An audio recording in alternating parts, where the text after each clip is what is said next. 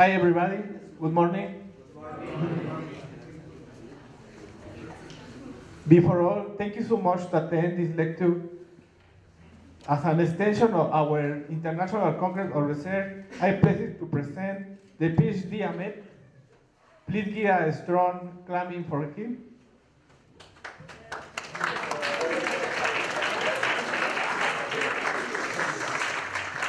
Now, I will introduce him.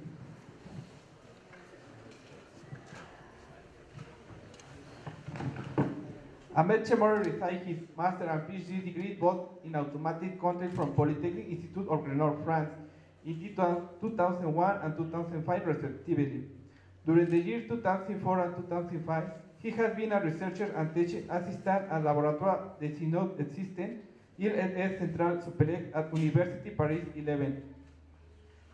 Then he joined Egypt Salah Formelac, a senior postdoctoral researcher. He is currently a tenured researcher scientist in automatic control and robotics for the French National Center for Scientific Research, CNRS, at the Montpellier Laboratory for Computer Science, Robotics and Microelectronics, LIRMM.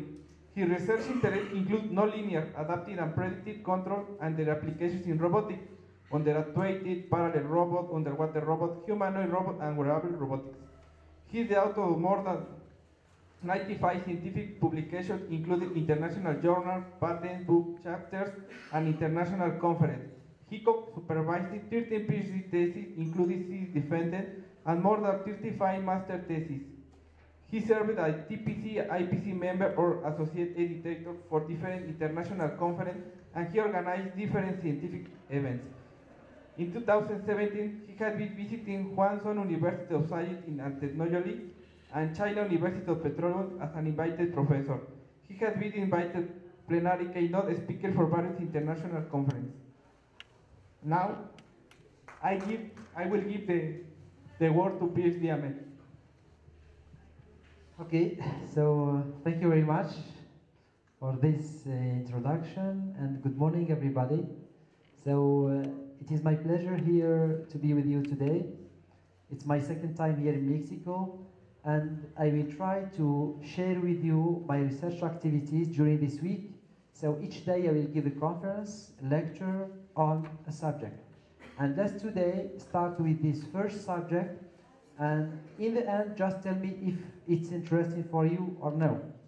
So uh, the title of my presentation it concerns advanced control. So as you know control it means developing some algorithm for controlling one robot for instance to do motion, to do a task, to do something.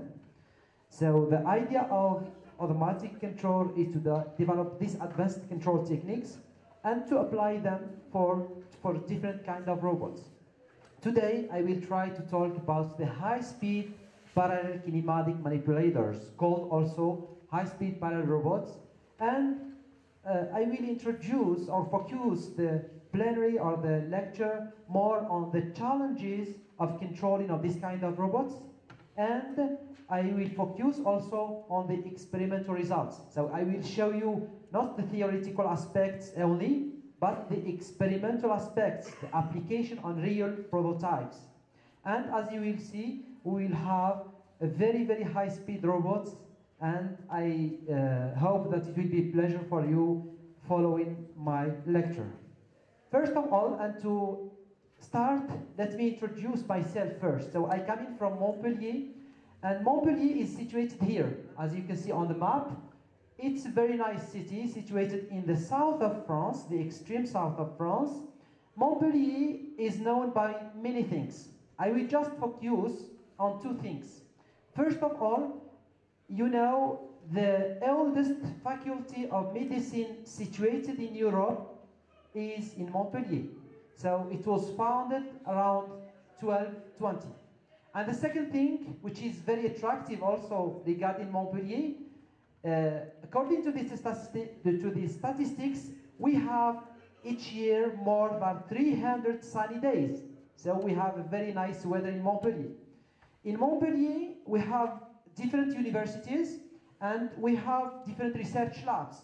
So I am coming from a laboratory called LIRMM, and LIRMM is coming from Laboratory of Informatics, Robotics, and Microelectronics of Montpellier.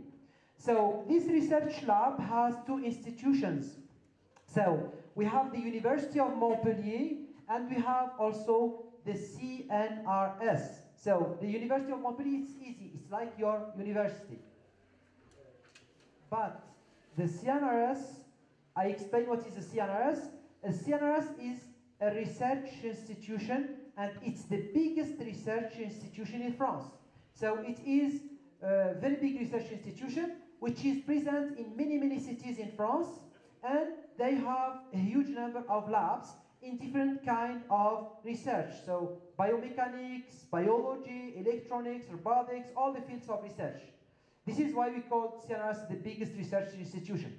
So our lab is situated in the north of the city, and here, as you can see, we have the two buildings of our lab, and we, we are in our lab more than 440 persons, including so the permanent staff, it means the professors and the researchers, and also the PhD students and the administrative staff. Now, as the name indicates, the lab is organized in three departments. So the Department of Computer Science, which is the first one, and it is the biggest one in the lab. It's approximately the half of the lab. The Department of Robotics and the Department of Microelectronics. And as you, you know, through the lecture, I am in the Department of Robotics. Now, let me say three words about this Department of Robotics. So, we are organized in five research teams, and each research team is working on a subject of research in robotics. The first research team is called Dexter, and within the research team, we are interested in control and design of manipulators for manipulation in, for two applications. So the first one is uh, industrial robotics, and the second one is medical robotics. The second research team is called IDH, and IDH is coming from interactive digital human. And in this research team, the researchers are working on humanoid robotics and also its interaction with the human. As you can see here, an example of tasks that we can make with a collaboration between the human and the robot. The third one is ICAR, and in this research team, which is between the Department of Robotics and the Department of Computer Science, we are interested in vision. In vision in general, robotic vision, image processing, interaction, and so on. The fourth research team is called DEMAR, and in DEMAR, we are interested in the human sensory motor, so control, modeling, neuroprosthesis, and so on for elderly persons or disabled persons. The last research team is called Explore. It's to explore the environment, so using mobile robots. So we have different kind of mobile robots. We have underwater vehicles, we have classical wheeled mobile robots, and we have also aerial vehicles. So this is just the organization of the Department of Robotics. So now concerning me, I am in the first research team called Dexter, but I made many collaborations with the other research teams since I am working on control for different applications. So we can apply the controllers to mobile robots, and underwater vehicles, exoskeletons, humanoid robots, and so on. This is why I'm, I am doing this collaboration with the other research teams. Now, our lab is known also for something which is very strong, it's the experiments. So we made different research in robotics, and we made all this research applied experimentally in different platforms. Actually, we have many robots in our lab. I will show you just a few of them to have an idea. So the first class is this kind of robots. It's parallel kinematic manipulators, or called also parallel robots. This is also parallel robots, but it's a cable-driven parallel robots, so it's different between this and this. I will be back on this kind of robots in this lecture. We have prototypes of mobile robots, manipulators. This is kind of serial, uh, serial manipulators, classical serial manipulators. We have surgical robots. We have under-actuated mechanical systems. We have humanoid robots, and we have underwater vehicles, and so on. Just to give you an idea. And these prototypes are inside this building. And in this lecture, I will focus my presentation on this kind of robots, parallel robots, and I will show by the end some examples of these cable-driven robots. Now, let me say you say a few words about my, my research. Actually, so I'm working in robot control or control of complex robotic systems with mainly four applications. First application is the control of under-actuated mechanical systems. There will be a lecture on this application during this week. The second application is parallel kinematic manipulators. It's the subject of this lecture. The third application, we have two things inside. So we have humanoid robots and we have also exoskeletons. So there will be also two lectures, one on humanoid robots and one on exoskeletons. And the last one, marine robotics or underwater robotics. And also there will be a lecture on this subject. So today let me focus my presentation on the control of parallel kinematic manipulator. Fine. So now we arrive to the subject of the lecture. And here, as you can see, is the outline of this lecture, the content. So we will try, I will try to introduce first the context of these parallel kinematic manipulators and the history.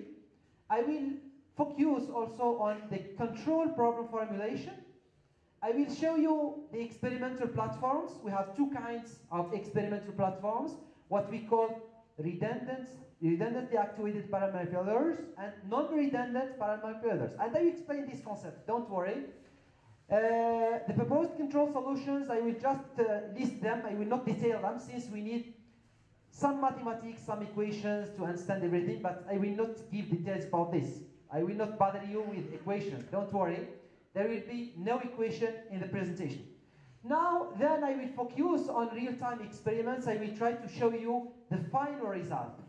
So you have a problem, you study the challenges, you design your controller, and you apply it. I will show you the final result, uh, which results from the application of what you developed as a controller.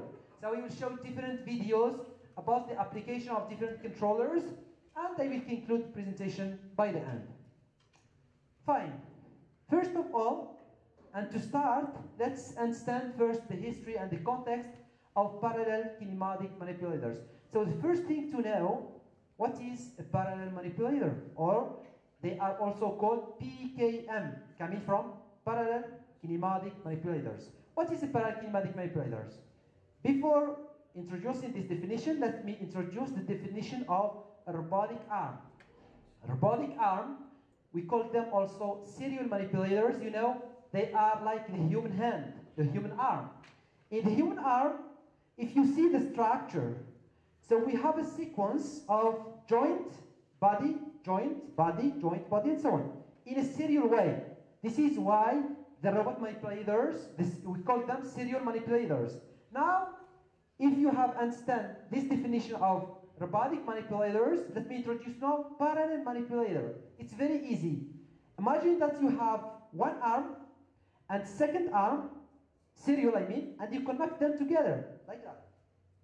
So, will obtain, it's a parallel, because you have one arm in parallel with another arm. So, this basics, it's a parallel kinematic manipulator. So you have at least two kinematic chains related to the end effector of the robot. Now, historically, if you see to the history of parallel robots, here I will show you some examples 1931, it's the first idea of a parallel kinematic manipulator introduced by uh, Gwinnett. In 1942, it was a painting system which is based on a parallel kinematic structure. And the first, and here for these two examples, it was just a patent. It's just a study. They have not built these parallel robots. The first parallel robot was designed in 1994. So this is the first one. It's, as you can see in the picture, here you have a wheel. It's the wheel of the car. So it's a system for tire testing, for testing the tire of the, of the wheel of the car. See, this was the first parallel kinematic manipulator. And actually, as you can see here, there is an example. It's a flight simulator. It's the platform of Stewart introduced in 1965. And initially, as you can see here on the video, the first examples of parallel robots, they have been used for flight simulators. So a flight simulator, you have seen it here on the video. So you have the cabin, and you have the pilot inside, and he tried to control the motion of the cabin, which represents the airplane. And we try by controlling the legs. I will just repeat the video. By controlling the legs here, as you can see, you can control the motion of the cabin to reproduce the same dynamics of a real airplane. So this is for the flight simulator, for training of the pilots. And then, uh, as you can see here, we have also six legs. And the six legs are in parallel way. So we have six legs here, and we control the six legs to reproduce a motion of the cabin. Many, uh, 20 years after, it means in 1985, there, there has been a development of, uh, of a new parallel manipulator which is completely different from the previous ones using these legs as this one or this one or in the video. This is what we call a lightweight parallel robot, which was introduced in 1985 in Switzerland at the EPFL. It's the Polytechnical School at EPFL in Switzerland. And it was introduced by Professor Clavel. I will show you a video to understand the origin of this lightweight parallel robots. And the robot is called Delta. It's called Delta, y Because the form, as you can see here, it's like mathematical delta uh, symbol. So it was in Switzerland, and here it was the first idea of designing a parallel robot for, as you can see here, it's a chocolate. So to put the chocolate in a box. This is the idea. So Professor Clavel had thought to introduce this kind of new robots, and the main idea inside his development, and he made patent, the main idea is to construct what we call a lightweight parallel robot. What we mean by lightweight? It means that, as you can see here, the moving part, which is in the down here, it has a very low inertia and very low mass.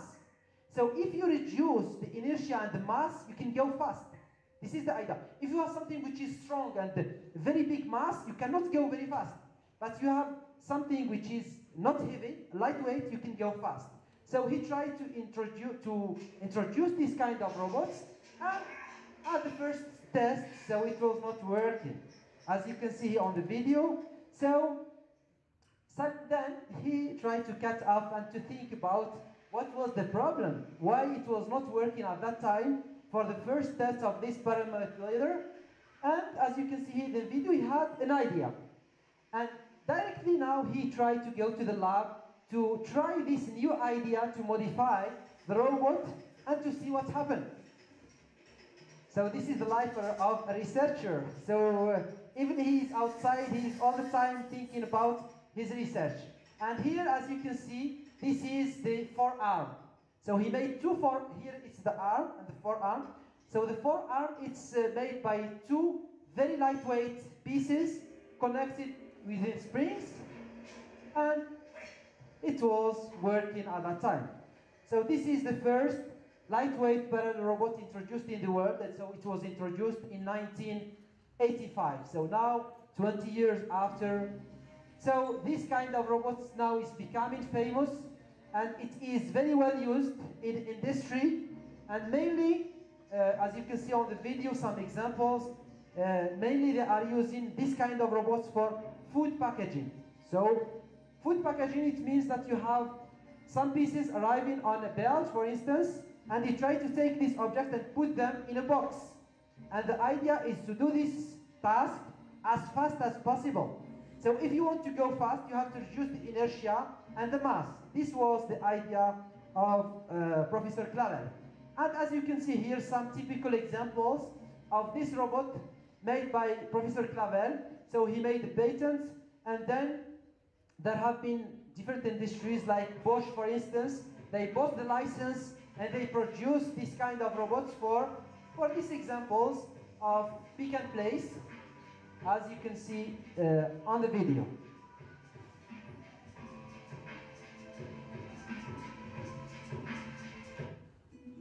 Fine. Now, let's introduce a pararobot. So this is just a basic definition. As I said, a pararobot has at least two kinematic chains, but it can be more. Here you have four. It can be two, three, four, five, and even six kinematic chains. Some examples, the first examples of flight simulators, This is food packaging. This is a parallel robot for high, high precision positioning. The, um, the haptic interfaces. And now the main components are the fixed base, the traveling base, and also these components, so the arm and forearm. So a parallel manipulator is characterized by very high accelerations. So you can motion, you can make motions with a very high speeds and high acceleration. It is also characterized by high precision. It goes exactly to the desired value that you want, and it has a high stiffness, a high uh, load uh, payload to the mass of the robot ratio. But the problem it has small working space. It's smaller than a classical serial manipulator because when you make it in a, in a parallel way, you reduce the workspace. And the idea of my work regarding this application is to design some controllers to control the motion of these parallel robots for very high speed motions. So we have to pay attention of this problem, mechanical stops for instance, and also we have to pay attention about the uncertainties, the actuation redundancy, I will explain it, and so on. Now, let me introduce the control problem formulation. Why we are interested in controlling of this kind of robots? Because if you, for those who are learning control, you can take any control and apply it. But the problem, classical controllers, they are not enough for this kind of applications. For the challenges and the problems related to this kind of robots that we will introduce here. So, first of all, so I will show you that these two videos, examples of real applications in industry for food packaging. So uh, the first example on the left, it's the, the robot of Professor Clavel. It's the Delta robot applied in industry. And the second one, it's here on the, on the right. This one, it's the Quattro. And the Quattro robot is a robot that has been made in our lab in Montpellier. So just to show you these few examples from industry. And for all these examples, as you can see, the idea is to do what we call a pick and place task.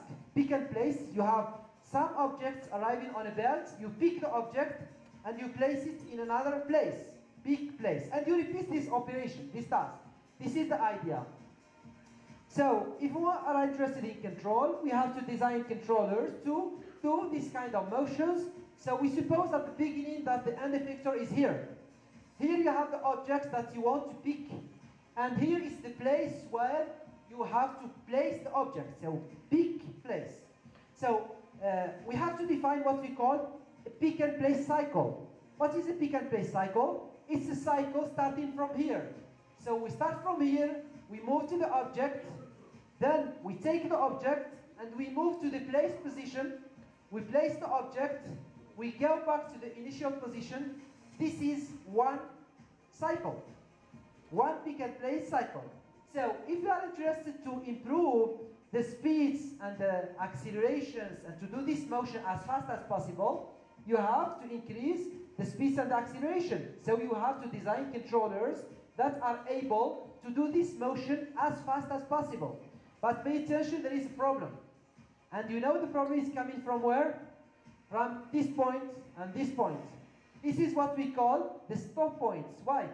When you take the object, you have to stop. You take the object. And when you place the object, you have to stop to place the object. And between these two stop points, you have to accelerate at maximum. So even if you have a mechanical structure which is rigid, the fact that you have accelerated at maximum and you stop abruptly can generate this mechanical vibration. And also, we have to pay attention about mechanical vibration and the precision of motion because this is necessary to, this, to do this kind of tasks. Now, we have to design controllers that are able to deal with these pick and place tasks. We have to generate some trajectories to do this motion. We have to track these trajectories using the proposed controller while keeping in mind the problem of vibration. We have to reduce it either through the trajectories generation, either through the controller, the mechanical design, so we have different possibilities to reduce these mechanical vibrations. This is why we are interested in control of this kind of robots, and this is why if you put a classical PID, classical controller, it will not work perfectly. This is this justifies the control of this kind of robots. Now you can tell me, what about serial robots? Is it possible to, to use a, a, a robot manipulator to do the pick and place? The answer is yes. As you can see here, we can use, here as you can see we have two robots. We have, the first one here is the parallel and behind it's a serial robot. It's a manipulator which has a serial. And if you compare like that, can you give me the amount of speed, the ratio between the parallel and the serial? The speed. The speed of parallel robots is equal to? To two times. Because, look, I will repeat the video. Look, the parallel robot, it takes one object at each time. And the serial robot takes two objects at its time. So it means the, the parallel robot needs the half of time to do the motion. So it has twice the speed of the serial robot. Anyway, now let me introduce the pick and place task. So the pick and place, as I explained, it's very easy. You have objects arriving on a belt. You take the object and you place it, and you go back to the initial position. Uh, to do this kind of tasks, we need either two, three, or four degrees of freedom. Do you understand what we mean by a degree of freedom? Look, you have an object in space. How many degrees of freedom it has? How many degrees of freedom? Huh? One, two, three, three, three. So it has, look, this is one motion. This is one degree of freedom. This is one degree of freedom. Two. This is one degree of freedom. Three. It's enough? More. Nice. More. What we need more? An object can make a linear motion, but it can make another kind of motion, which is rotation. So the rotation, it's one degree of freedom also. He can do a rotation along x, along y, and along z. So it has six degrees of freedom. An object in the space can have maximum six degrees of freedom. Okay, so for the pick and place, we can need two degrees of freedom, or three, or four. I explained. Here, for two degrees of freedom, you have objects. You have just to take the object to move along the z-axis, the x-axis, and you put it. Two degrees of freedom, like that. Three degrees of freedom.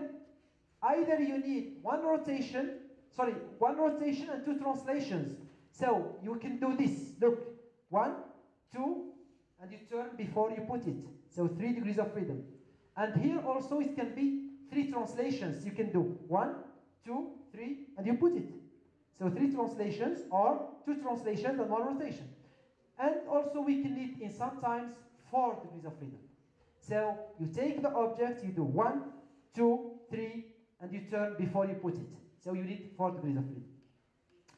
Now, so this is just definition for the pick and place. If we look to the existing solutions in control of this kind of robots, we can find two classes. So the first one is the class of non-adaptive schemes. The second one is the class of adaptive schemes.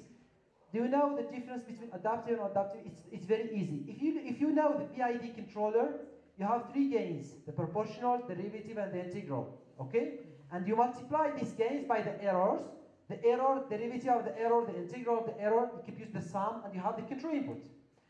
If you are in the case of non-adaptive, it means that your gains, kp, kd, ki, so integral, derivative, and the proportional, they are constants. So they don't change. All the, sa- all the time they are the same. If you are in the case of adaptive schemes, it means that when you control your robot, these gains may be changed. So you have to find a way to tune them automatically. It's not you, it's the computer who will do this, who will tune automatically these values of the gains. This is what we call adaptive schemes. And now for non- non-adaptive schemes, we can find non-model-based and model-based. The difference between them, it means that the model-based, they use the information about the mathematical model of the robot. So you use the equation of the model of the robot. And the non-model based, like the PID, the PID, as I said before, you don't need to know the model. You have just to compute the error, integral of the error, derivative of the error, you multiply by the gains, the sum, you obtain the control input. This is a not model based. And model based, like here, for instance, the computed torque, you use the dynamic model. And for the case of adaptive, adaptive schemes also, you have non-model-based and model-based control schemes. Anyway, now before I will introduce the control solutions, let me show you our robots. So we have six kind of robots here that I will introduce. And these kind of robots have been used to validate the proposed control solutions. So the first one is this one. It's a Par2, and it has this structure, as you can see, two actuators, and it is non-redundant. I explain also the, the, the principle of redundant or non-redundant. Very easy. Imagine that you have a robot manipulator which has six joints. One, two, three, four, and so on. Six. And in each joint you put an actuator, motor, a asynchronous, DC motor, whatever. You obtain a robot with six degrees of freedom and six actuators. So this kind of robotic systems, we call it a fully actuated robot. Very easy. Now imagine that you have a robot and you have less actuators than degrees of freedom. It means that you decide to remove the actuator which is here, for instance. So you have six degrees of freedom and five motors only. This kind of systems, this is what we call under-actuated mechanical systems. But we have another case, it's the inverse of this one. So we have the case of fully actuated, number of actuators equal to the number of degrees of freedom. Under-actuated means less actuators than degrees of freedom. And the inverse, more actuators than degrees of freedom. So if we have a 6 degrees of freedom motion, we can put 7 actuators. So we have one more actuator. This is what we call a redundantly actuated. All, or we can also call it over actuated. It's exactly the same term. So the second robot is R4 and it's different from the previous one since here we have four motors, not two, but four. And here the traveling plate it can do X, Y, and Z. So three motions, three degrees of freedom, and four motors, so it's redundant. And here we have two motors and two degrees of freedom, X and Z, so it's non-redundant. Uh, just this robot was patented, so we have designed this robot. It's a new design with the controller, and we made also a world record of maximum acceleration. So we made a patent of this robot from our lab. The next one is Veloce robot, and you know R4, this one, and Veloce, it's exactly the same structure. The only thing which is different, you know, the previous one, look, here I said that we have three degrees of freedom, so X, Y, and Z. Now, as I introduced before, from some pick and place task, we need to do this rotation. We do, for instance, this, this, this, and we turn before we put the object in the box. So we need this rotation. To introduce this rotation, look, this is the solution. So the traveling plates, previously, which was here, as you can see, one rigid body, it becomes two bodies. And this body is related to motors, and the other body is related to the two other motors. And if you move one body with respect to the other one, we have a screw here, and you can generate this rotation. This robot has four degrees of freedom, and it's non-redundant. And the, the, the, follow, the next one is the dual V, it has one, two, three, four actuators uh, dispatched in this manner, different from the previous one. And it has arm for arm and the traveling plate, which is in the middle. It has X, Y, and this rotation. So three degrees of freedom and four motors, so it's over-actuated or redundant. The next one is the Delta robot of Clavel from EPFL. So we made a collaboration with them to test our controllers and to compare. And the last one, it's the Arrow which is different from the previous robots in a way that here, look, all the previous uh, robots, they use rotating motors. But here, they are not rotating motors. It's motors translating. This is what we call linear motors. This is a motor, motor. It has one, two, three, one, two, three, six motors, and here it has four degrees of freedom, so it is redundantly actuated. The proposed control solutions, as I said, I will not detail them. You need um, a higher le uh, learning about control to understand all these controllers, but I will introduce just a list. And as you can see, I have emphasized one word, which is here in red, adaptive. Uh, so uh, we have designed different controllers, and as you can see, most of them, they are adaptive. And you know what's the reason? There is a reason behind this choice. Because we need a robust controller to avoid the vibration problem, but also we have supposed that when you take the object, we don't know the object. So we don't know the mass and the inertia of the object. So what we will do in real time, so the robot will take the object. When the robot takes the object, in real time he will estimate his mass and his inertia. And he will see, use this information in the controller. So you can use this kind of controllers to take whatever the object that you want to take. 100 grams, 200 grams, 300 grams, not a problem. Because the controller is here to adapt himself. And we have applied to all these platforms, so the, these six prototypes, and now I will show you the final results. So what we have obtained as a result of application of this different kind of controllers. First, so the first test was on this robot called part 2, and Par2 I have introduced this previously, I will recall it here. So it's to do the pick and place of 700 millimeters, 25 millimeter height, take an object and put it and repeat the motion. So it has two active arms and two passive arms, one rigid platform, and here this is the traveling plate, and it has only 120, 35 grams. We try to reduce the mass and the inertia of the moving parts. This is the idea.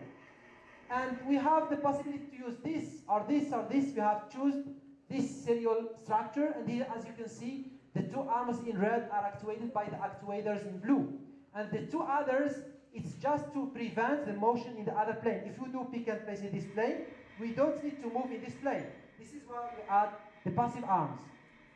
So we tried with different accelerations, 20g, so it's 0.35 seconds, the cycle time, 30g, 28 cycle time, 40g, so 23 seconds, and the maximum it was 50g. G is the gravity. So if I said 50g, it means you have a maximum linear acceleration of 500 meters per second square. And this is the final result. We can compare 10G with 50G and you can see the difference between them. So this test was done just in the lab. So it's not real application industry, but it's enough to use this robot in industry to get this acceleration of 50G. The same robot we have tested here in this game, as you can see, he will play with these three balls. At the moment, just one. And then he will accelerate because he needs to manipulate two. And then we will ask him to manipulate three. And so it has to accelerate more. So here is just to show another application for this high-speed parallel robot called Par2. Nice. Now we tried, so this was within a research project, and after that we made another research project called, you know, the name of the project is called Objective 100G. G, as I said before, is the acceleration. It's approximately 10. It means that we want to get an acceleration of 100G. It means an acceleration of 1000 meter per second square as a maximum linear acceleration. And I will show you the results. So we tried actually with 30G. So this is the first one. And we tried with 40G. And as you can see here, we can, we can see the difference between 30G and 40G. It's a pick and place of, look here, this is the 40G. And this is the 30G. You can see the difference between them. So this is the first test using this robot called R4.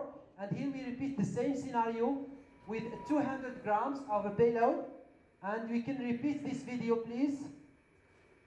This one. And then we can compare, so with the, the difference between 30 and 40G. We can see uh, already the difference between them.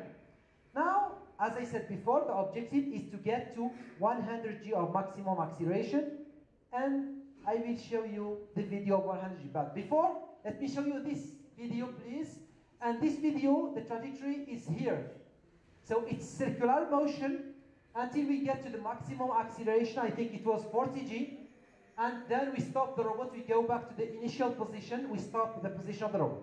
So this was with 40G. and now 100G. So 100G, before we, uh, to understand, so if you have here uh, a vehicle with 100G of maximum acceleration, so in one second, you reach 3,600 kilometers per hour. We made this motion, so we increase this, the, the amplitude and the speed and acceleration until we reach 100G, and then we reduce to go back to zero. And as you can see, the camera was not able to follow the motion of the robot. So, and this was a world record of maximum acceleration, 100G. So we made this record using this robot R4. I will show you other results. Here, as you can see, it's the Delta robot from at EPFL from um, it's the Clavel robot Delta. We made this three D pick and place uh, task with and without payload. Here, actually, we put the payload. We suppose that we don't know the value of the payload, and the controller was able to adapt himself to control the robot. So we compare the nominal case and the robustness test. And here, as you can see, the curves for the nominal case, so we improve by 42% the precision of tracking of the reference trajectories. Between these two cases, uh, the, uh, the original nonlinear controller and the adaptive one. So if you add an adaptation, you improve the precision of the controller by 42%. Here, I told you that we suppose we don't know the mass of the object. Look, we are estimating and we convert to 200 grams. So the object was of 200 grams. In real time, we can have an estimation of the right value. And here it's the tracking errors. And if you add the adaptation, you can improve by 62% the precision of the trajectories tracking. And what we did also, we did with and without payload. If you add the payload, so we can here identify the value of the added value of the payload. Another result here is uh, on this robot called Dual-V. Here, as you can see, the, we have the trajectories. This is the moving platform, and we try to follow these trajectories. And we do also two cases, the nominal case, and we try to add a payload that we fix it on the traveling plate here, and we can see uh, this is the payload. It's uh, around one kilogram perhaps. I don't, I don't remember the value, but we repeat and we compare both cases and we try to see that the controller is robust to this modification of the payload. And here, as you can see the curves, we can improve by 35%. Here, the estimation of the mass and the inertia of the traveling plate. And then when we add the payload, we can improve by 53%. And we can identify here the, the difference of with and without payload. The difference is here estimated in real time. Another example is here the Veloce robot. As I told you, we need this rotation. Look here to the motion. We try to follow the trajectories here in red. And as you can see here, we have a rotation. Here. When it stops, we can create this rotation. So we try to follow these trajectories. So this is the result on this Veloce robot. And now the curves of this scenario an improvement of 68% between the case of the original L1 adaptive control and the L1 adaptive control with feed forward. So we try to do an extension of this control to improve it. And we improve the precision by 68%. Here we have the control inputs. It's the torques applied on the motors. And here you have the estimated parameters of this controller.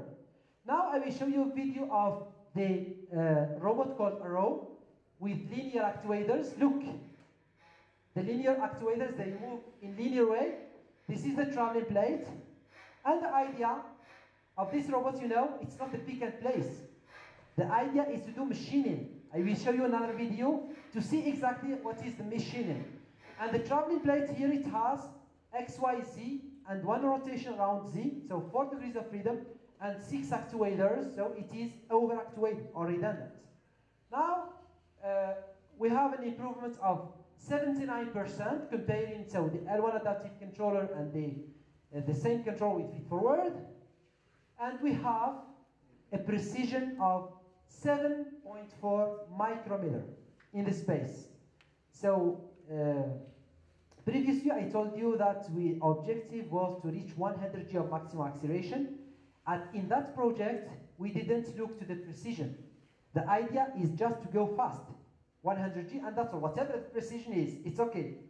But here, we tried to do two constraints. We have to go fast, not 100 g, but 10 g, 10 or 20, and we try to reduce the precision until, until a value less than 20 micrometer. So we get around 10 g of maximum acceleration and 7.4 micrometer of precision in the space. And this is why we said that parallel robots are more precise than serial robots.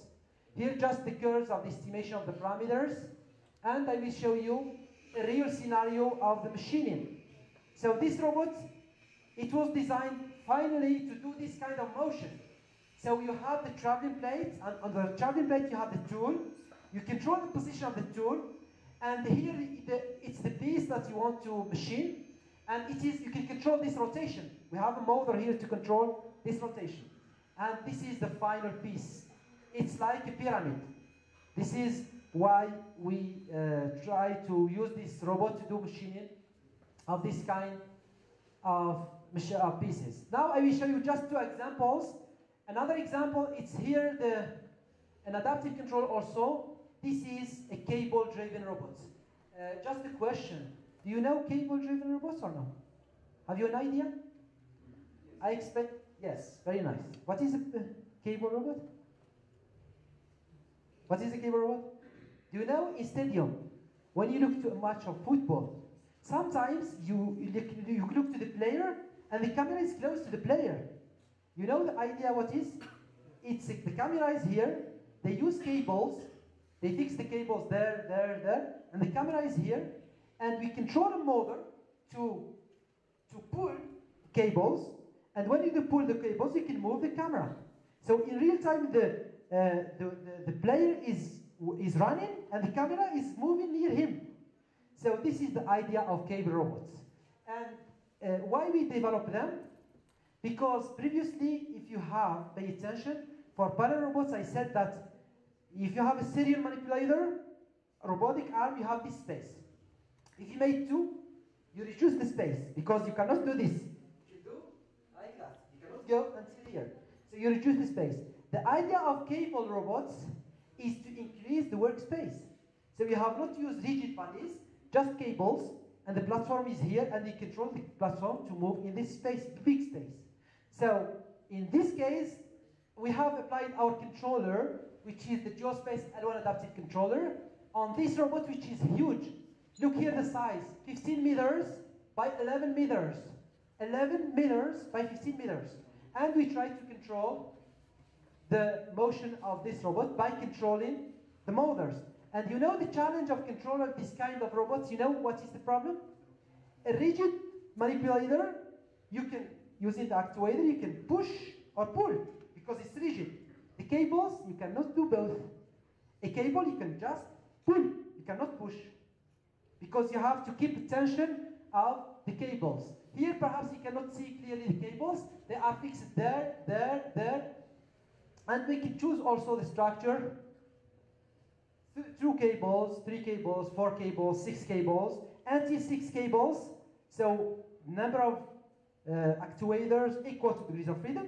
If you put eight cables, you obtain more actuators than degrees of freedom. So it becomes redundant.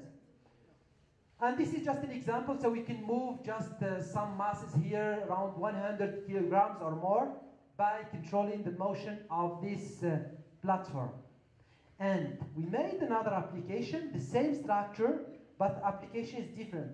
The application, it's like the previous applications. So it's a pick and place, and we have this robot that was designed by Tecnalia. Tecnalia is a company from Spain, and they have also in Montpellier, uh, um, I mean, uh, uh, place there. They are, are working in parallel robots also. And in this research project, they developed this robot called P-Cable. So it's, you will see it's with cables, but it's smaller. And the idea is to do the pick and place. Here, look the cable.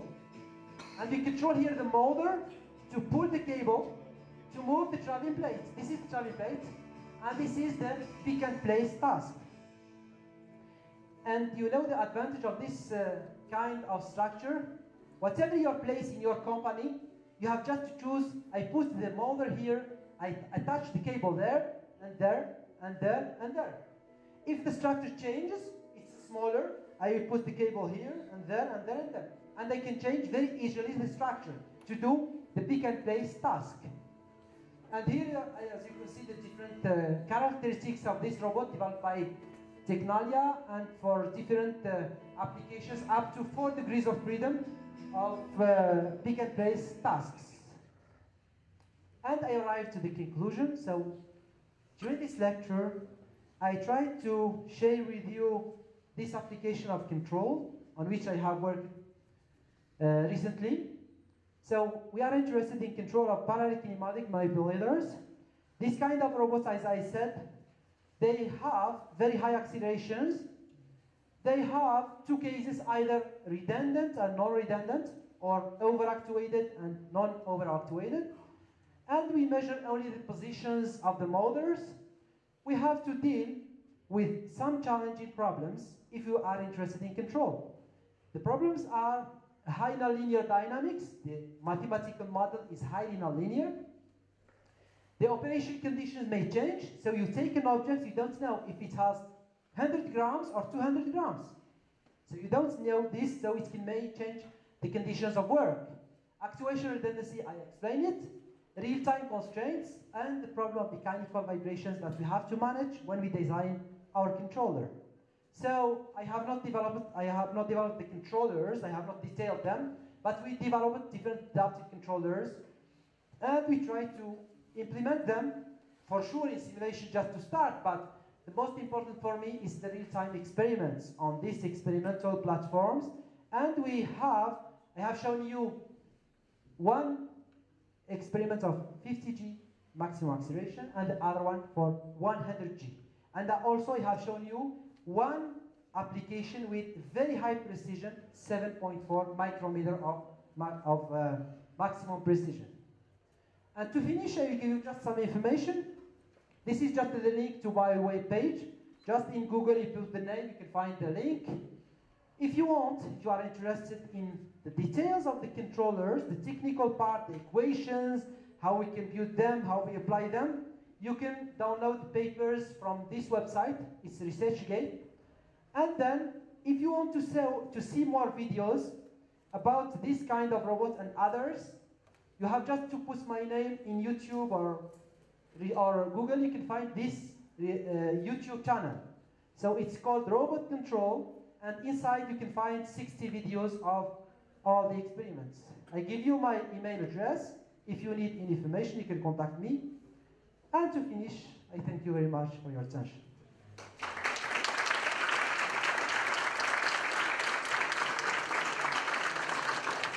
Thank you so much, please, So, someone had a question? That means that everybody here is a... Nobody? Jonathan has a presentation. what, what kind of what kind of can be developed T20 robot? Ah, very nice. Okay, very nice question. Let me go back. I can show you. It's very nice question. He understands because uh, uh, the previous robots. Let me go back. Uh, so for the robots where we are interested in pick and place, most of them are interested in pick and place. Fine. So for this one, it's the pick and place food packaging. This one, it's the same. This one is the same, pick and place. This one, the question is regarding this one. Yes. This one is not for pick and place. And it's a very good question. You know, uh, the application that we, where we can use this robot is laser cutting. Laser cutting, it means you put material, you put the head that will generate the laser beam, and you control the motion of this laser beam to cut this metal. And the idea is to put the, here the laser beam. And then you control the motors to move in a precise way to have shape. And you put here the metal that you want to cut. And then you can have very high precision of cutting. This is the typical, a typical application of this robot. Other questions? I have a question. In my case, I work with adaptive control. Uh, I showed you to use more of the different scheme for deal with it. In this case, you know that for adaptive control, you must attend the persistent excitation. So, how to deal with it? Very good, very good question, but I, I, I think it's, it's somehow technical. But I can explain. Uh, let me go to the proposed control solution here. You know, here, the question is very good since if you look to some of these controllers, he talked about the persistence of excitation. What is this concept? I explain. You want to track some reference trajectories, so you want to follow this motion and repeat it. This trajectory, it should be able to excite the parameters that you want to estimate. I want to estimate the mass of this body that you want to move. I, if I do a simple motion like that, perhaps I will not excite enough the parameters. It means what? It means that the, I cannot guarantee that this, yes, I cannot guarantee this. I cannot converge to the right value. So I need to pay attention to the persistence of excitation of the parameters. So we made two kind of controllers. The first one, it's like this one, for instance, and the idea is just to work on the trajectories. When we generate the reference trajectories, we use polynomials and we try to choose these polynomials with the right frequency and the right trajectory to excite enough the trajectories. But this is the first solution. The second solution, I, I, have not developed the detail of the controller, but let me just tell you a few words. This one. This one is called L1 adaptive control. And you know, L1 adaptive control was developed to avoid exactly three problems of classical adaptive control. The problem of persistent excitation. In L1 adaptive control, you don't need excitation. It's okay. Very simple trajectories, it will work. One. The second, performance. The previous controllers, as I said, let me go back here. If we start with a value far from the real value, maybe we cannot converge to the right value. So we have to pay attention. We need an initial knowledge or a priori knowledge about the parameter. I want to estimate the mass of this object, but I know previously that it is between 100 and 200 grams. I need this information. Otherwise, it will not work. So the idea of developing L1 adaptive control, so we forget about this information, we suppose that we don't know anything, and we start from zero. So we can start from zero the trajectories, and we can, we can guarantee the convergence. We start from zero, and we converge. So this is the second point. And the third point of the L1 adaptive control, with respect to the classical adaptive control, is that classical adaptive control, you know, I showed you this uh, convergence for the previous case, for the classical adaptive control. Here, look, we have, when we design the control, we have a parameter. It is called the adaptation gain. If you want to converge quickly, and it's better for you, if you converge quickly, it means that you have the error, it will converge like that. So the error will be just from here to here, not from here until here, until 25 seconds. So you want to converge quickly, you have to increase this parameter, the adaptation gain. And the problem with the classical control, if you increase enough, you may generate vibrations. This is the problem. But with the L1 adaptive control, there is no limit. You can increase your gain. The only limit is the hardware. Otherwise, not a problem. So for this controller, L1 adaptive control, you increase and you can go fast and you will be never unstable. You will be all the time stable. So this is the three advantages of the L1 adaptive control with the classical uh, adaptive control. Other questions? Thank you. Yes, please, Rashid, go ahead. We can use the robot arrow. So, Why can we use the robot arrow? ah, uh, for the robot arrow, I have shown the video. Perhaps you don't pay attention. Look, this is the application. You, you, your question is about application where we can use it? When? Ah, when? Ah, when? Uh, we have finished it uh, two years ago. So we have finished around 2015, 2016. And we take uh, approximately one year and a half to construct it because we have the mechanical design, we have to buy the different parts, actuators, and we have to machine the pieces and so on. We have to assemble everything and to design the controller. So it takes one year, one year and a half to construct it. What the purpose? The purpose The purpose. How use it? is machining. If you want to do uh, a piece, you can use this for machining. This is just to illustrate the concept, but the real application, if you have any piece you want to uh, to uh, to fabricate it, so you can use it. You put just initial big piece, and then you can do this machining to uh, fabricate your desired piece. Ah, the precision. Yes, the precision here. I give I gave the value of 7.4 micrometer in X and Y and Z. So you can have very good machining with a maximum error of 7.4 micrometer of precision in the space.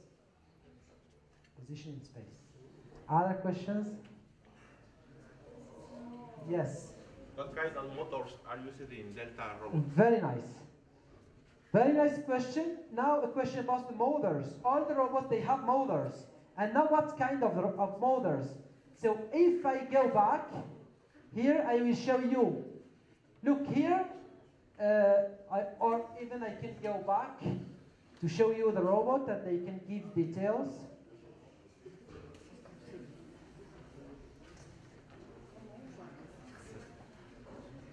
Yes.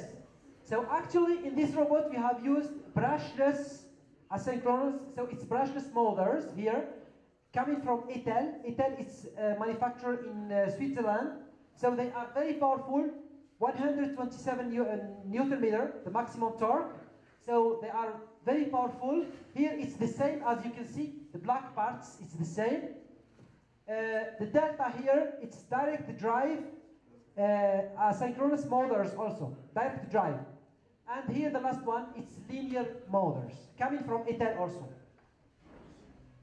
Other questions or remarks or comments?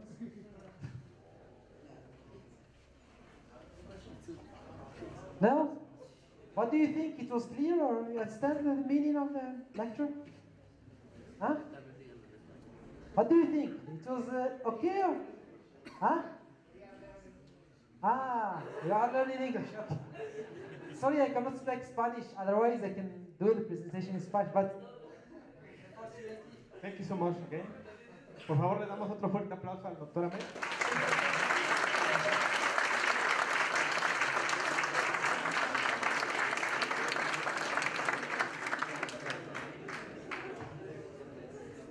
Bueno, aprovecho para hablarles rápido en español. Para los estudiantes, el doctor Amer va a estar con nosotros todo lo que resta de la semana. Cada día de la semana va a dar una plática acerca de sus temas de investigación. Mañana hablará de su tema de investigación, control adaptable de pe- pequeños vehículos submarinos, de los experimentos, perdón. Bueno, el título en inglés es Adaptive Control of Small Tethered Autonomous Underwater Vehicles. Control adaptable de pequeños vehículos autónomos submarinos. Entonces, por favor, si quieren saber el título de la presentación del miércoles, pues aquí los espero, los esperamos mañana. Entonces, nuevo le damos un fuerte aplauso.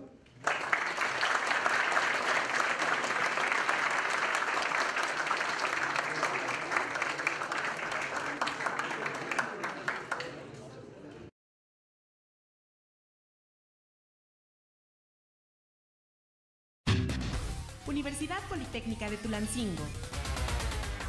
Líderes construyendo su futuro.